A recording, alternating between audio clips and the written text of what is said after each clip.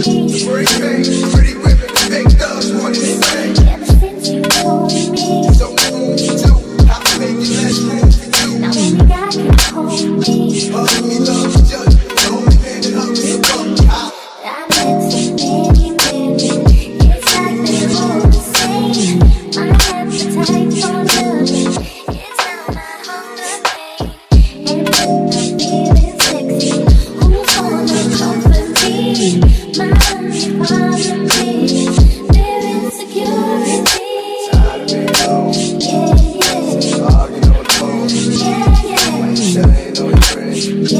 I've been thinking